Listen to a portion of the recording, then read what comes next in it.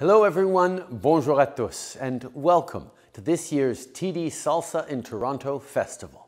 For starters, I want to thank the organizers for bringing us together for this celebration of Latin and Hispanic music and culture. I know that a virtual event isn't the same as dancing on the streets of Toronto, but we're still going to enjoy the rhythm of the music. Aujourd'hui, on célèbre la communauté latine du Canada et on reconnaît le rôle que vous jouez dans la formation de l'identité du pays. From your food to your music and your dancing, Latin Canadians have contributed and continue to contribute to our cultural fabric. And this festival is an opportunity for us all to celebrate that. So thank you to all of the musicians, performers, singers, and organizers for sharing your heritage. And thank you all for joining today. Restez en santé et en sécurité tout le monde et s'il vous plaît, faites votre part en allant vous faire vacciner lorsque viendra votre tour. Merci beaucoup tout le monde.